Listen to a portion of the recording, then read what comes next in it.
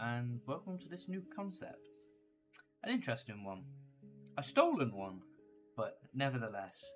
I've not seen people do it for some of the newer maps, some of the new changed maps, so that's what we're going to do in this series. That's my plan. We'll roll with it. It'll help some people who are coming back to the game, it'll help you new players, it'll help everyone, I hope.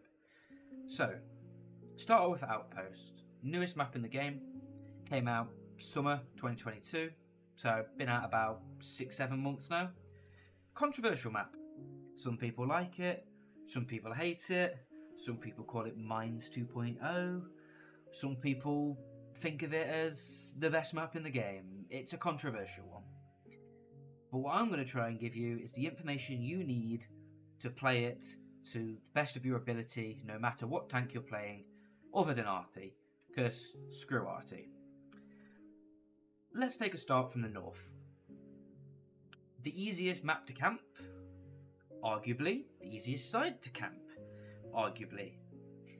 Let's take a start off for light tanks. Start at the bottom, work our way up. If you're in a light tank, my suggestion, make your way towards the middle. That is the biggest recommendation I can make for you. If you're in the middle, you can get vision on here, you can provide vision on here, you can provide vision and potentially outspot a light tank here. You spot if they try and push up towards the middle. The way you want to make your way to here is you want to head down from here and just head through the middle, like so. That's the quickest way there. You have to be careful of the water here, where you can drown. But head here, you have two options. A slightly more passive location around the house. There's bushes on the left and right of the house, so feel free to play in either. Arguably, the left hand side works better because you get better angles on here, so you're closer to here. So if you're using CVS, you should be able to spot here. Here is much more aggressive, and here as well. There's two bushes here you can choose, but you are at risk of being proxied by the enemy light tank, which goes here. Or, if the enemy light tank goes here, they may catch you as you try and head up into this bush, or up into this bush as you drive through this little gap here. Risk to be taken. That decision is left to you depending upon the light tank you're playing against. If you're playing in a T100 LT and there's an EBR in the enemy team, it may be not a risk worth taking to take the aggressive bush. Take the more passive bush and try and play slow and spot any TDs that are trying to play here or here, or anything that's trying to push up to the mid late. We'll move on to TDs. TDs on this map are arguably one of the more important tanks because of the vast, vast open field. And from the north, in my opinion, you have slightly better positions to be able to punish the field, the middle, and the hill. So, slow TDs. We'll start off with slow TDs.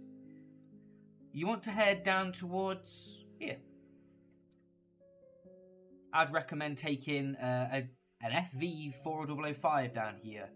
Um, potentially. That'd be one of the better positions because you can play behind the house and you can work off your light tank's vision and you can aim for here. And as tanks get spotted up here, you can just delete them. Um, that is my advice for an FV if you were to play here. Slower TDs. If we're talking heavy TDs, you could play here with an E4. But if you're playing with an E3, I'd argue your better decision would be to follow the heavy tanks and you want to go down towards the heavy flank. And you want to play with the the, uh, the heavy tanks down here against their against the enemy heavy tanks. That's my biggest advice for the slow TDs. However, if you are playing a quick TD, we're talking STRVs here.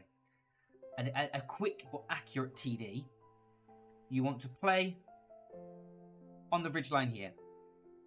You have to be extremely careful whilst you're on the ridgeline here, however, that the enemy light tank does not spot you as soon as you fire and you get deleted from the positions here. So you have to bear that in mind.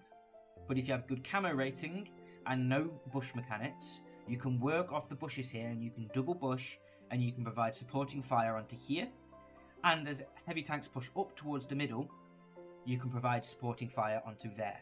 Not only that, if the enemy light tank gets spotted, you can also provide good punish down onto the enemy light tanks. That is my advice for the, um, the, the faster and the slower TDs. We'll move on to mediums now. Mediums may struggle to find a place to fit in on this map. You may have to play like a, an assassin kind of role. If you're in a fast medium, we're talking CS63 and depending upon the matchup, if you're playing a Progetto and you're versus a T44, you could take the middle. In doing so, you drive up, like so. And you have to be careful when you do so because you will receive fire from here and anything that's here. So that's why you have to be in a quick tank because otherwise you run the risk of just getting deleted straight away. However, if you can take the hill, it is the best position on this map hands down. You can play here and provide supporting fire down onto here.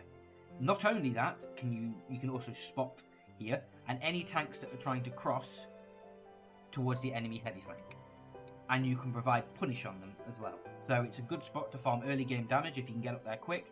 Head here, you can spot any people who've spawned in late, you can spot slower tanks like a Maus, VK, heading down towards the heavy flank and can provide early game punish.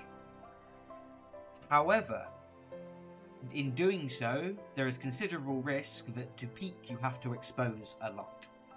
So in doing so, you risk being shot at. But there are also other positions on the hill which you can peek from slightly safer. You have the area here. You can play in and around the two pillars here, and you can provide supporting fire down onto the enemy heavy tanks that are here, any enemy heavy tanks that decide they want to take the spot here.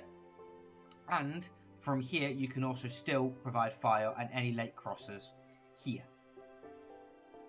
If the game has developed and your team has lost the city, you can provide covering fire from here down into these locations and down into here. You can then if the game develops even further and your base is under threat, you can play from here and you can provide covering fire down onto here to protect your base.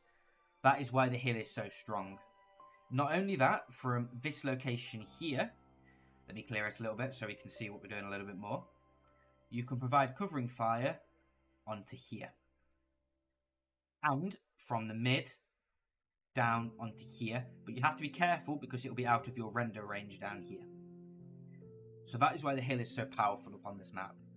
If you can take hill, you can dominate the whole map and you can protect your base very strongly. Moving on to slower mediums now. You probably want to take a more passive position. You can try and counter enemy medium tanks that are trying to push up to the hill or any misforgiving heavy tank trying to push up towards the hill by playing here and you can provide good focus fire down onto here. My advice, aim for the tracks, because you're going to have TD support from here, and you can pick up a good amount of assistance damage. There is the opportunity to play a medium tank down in and around this area down here.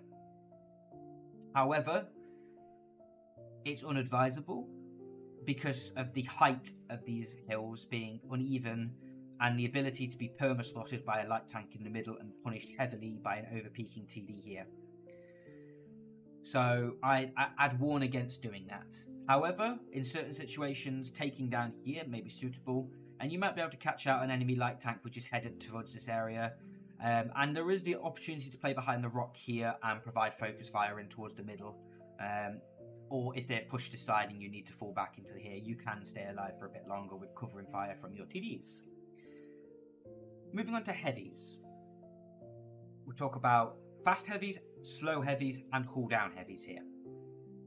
If you're playing a hull down heavy, there's two spots on this map. One is cheeky and slightly risky, and one is very reliable. The cheeky position, which we'll start off with, is just over here. You can head down if you're quick. You have to be a quick heavy to do this as well, I must say. Uh, we're talking probably the slowest hull down heavy you could do this with is an AE phase one, for example. Um, you head down from base and head straight into towards the water area here. And this pier is non-destructible, and you can use this and you can reverse into the water and play off the pier as a hull down. You get great fire into all of these guys here. Uh, it's a really, really strong position if you're playing in a chieftain, for example. I would advise against taking it if you're in a super conk, But if the heavy enemy heavies are playing extremely passive and you see the opportunity to get into there with minimal punish, try it. Good spot. Also, if you're playing a slower hull down heavy, i.e. a Super Conk, AMX, I'd advise taking the position here. From here, you can focus fire, you can trade against the guys which are playing here, you can punish anything that tries to go up towards the hill, you can shoot if you over peak towards like here, you can shoot the uh, enemy TDs and you can provide fire down onto enemy light tanks. Pretty reliable position. However, if you're playing in a fast heavy, we're talking an IS-7 or 260, that kind of fast, you might want to take him towards a position down towards here, and if you're quick enough, you can head straight down here and take a spot into here. In towards here, you're above your opponents, uh, so you might need good gun depression, so the 260 may struggle if the enemy heavy heavy tanks takes towards here, but you can provide brilliant focus fire down into these guys down here, and basically suppress the whole town. Also, there's the pretty standard reliable positions of heading down towards here, playing behind the rock, or side scraping off the side position here. Both of which are pretty reliable for damage. However, you run the risk of being over pushed if you're too passive in the town on this side. So you want to have that balance between aggressive and passive. Just a quick note, you could play a slower TD down in these positions. You could play a faster TD down in towards these positions. All of this is dependent upon how the game is evolving. But these are the standard starting positions. That's what I'm going to try and offer you. Is the standard starting positions from which you can then develop your game knowledge, your map knowledge, and decide, hmm, I want to go towards this spot. I want to go towards this spot and then you can reuse those spots and it becomes a bank of knowledge for you to rely upon. We'll move on to the south now. A harder side to play, arguably, but still some very, very strong positions. We'll start off with the light tanks again. Light tanks, pretty generic, as I touched upon it briefly about trying to count, uh, playing from the north side and being countered by the south. You can play in a slightly more passive position, or a slightly more aggressive position. Both provide equal spots, but one runs the risk of being outspotted by an enemy light tank. Here is the more passive position. There's plenty of bushes to choose from here. I'd set yourself up in the thickest bush you can find. And from here, you can get great spots on anything that tries to overpeak mid. You can spot any TDs playing here. You can provide vision up here. And you can provide vision to anything that plays down towards here. Reliable position. However, if you wanted to be more aggressive and you deem that you could do so, you can try and take the bushes here, and you're likely to get better vision on the enemy TDs playing here. So if you are playing in a platoon, for example, and you have a, a, a TD platoon mate sat in the area over here, it might be advisable to take the more aggressive position to get a more aggressive punish on the enemy TDs. We'll move on to the TDs now, from the south. Pretty standard positions, almost mirroring exactly what you do from the north. You can take the bushes in base here, and you can provide good punish towards mid. Any enemy light tanks, you can blind that. Anything that's playing down towards the south here, and you can snipe up towards the enemy TDs here. A lot more passive, so I advise taking this in a slower um, a TD, i.e. an FV again, an Object 268, stuff like that. More aggressive position for TDs is here on the hill. You provide obviously a exact mirror from the north. You provide fire in towards the mid, fire in towards here. You can even start blinding towards this or shoot towards that if it's spotted. And you can over peak towards here and provide good focus fire if your light is lighting it up for you. But you do have to be careful that you don't get outspotted by a light tank in the mid and punished from these areas and these areas, who will be aiming for this area. So it's a careful and it's advisable to play pretty passive here. We'll move on towards the medium tanks. And you can do the exact reverse from the north, basically. If you're in a fast medium, you want to take towards the mid. And from this side, you can provide fire in towards the enemy base. Potential to spot an enemy artillery if the enemy artillery is playing up in the A9 location. And vice versa works. You can play from here and you can shoot down in towards the town. You can play from here and shoot towards anything late coming in. You can play here and snipe the TDs, which are likely to be sat here. You can shoot anything that's spotting late. And alongside that, you can play from here if your base has fallen, and you can get great focus fire into anything pushing through your base. And you can play from here and you can support the town if your town has lost. and once again you can shoot towards here. So a very very flexible position, and as once again, before I forget, you can stay in the mid and you can provide great focus fire from the mid. So you can shoot basically the entire map from the mid. Hence why it is an advisable position to take, and if you have the opportunity to take in any tank, take it. It is very strong. Once again, you can play down towards the south in a medium tank, but it's risky. You can very easily get over pushed and punished heavily by the TDs and permalit by the light tanks. So it's very situational. We'll move on towards the heavies now. And once again, you can play the mirror of playing the mid in a hull down slower heavy like an S-Conk, and you can provide pretty good focus fire onto these guys and punish them if they over peak. You can over peak once again towards here, and you can provide shots onto here, onto here. So there are opportunities for you. However, this town runs a little bit different for the heavies on this side. There are slightly more aggressive positions you can take. You do have to be careful, as I said, from anything taking the hill, but if you're in a quick heavy, you can go down towards here, and you can take into the houses here, which can provide a counter to somebody who plays into the hull down here, anybody who plays onto the high here, and anything that decides it wants to overpeak from here. However, if you're in a slower, more side scrapey heavy, I'd advise taking a position here or here. And if you're in a slightly more hull down heavy, which is in between, so basically a super conk again, really, you can play into here. However, here you have to be careful that something playing here doesn't counter you, because they will do. So that's the map guide for Outpost, the newest map in the game. Only been out 8 months. That's my opinions. As I said, this is an opinion.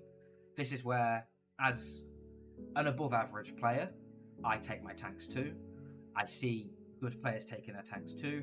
And I want to pass this on to people who might not know what to do on the map. They're new to the game, coming back to the game, first time at a higher tier. That's my goal with this map guide is to basically provide you the information to play better. But yeah, thank you very much for watching. Any thoughts, any maps you want to see me do next, put it in the comments. Like, subscribe, and I do stream on Twitch, so if you want to come see my face and laugh at my receding hairline, like many people do, come watch me on Twitch. Links are all in the description. But yeah, thank you. Bye.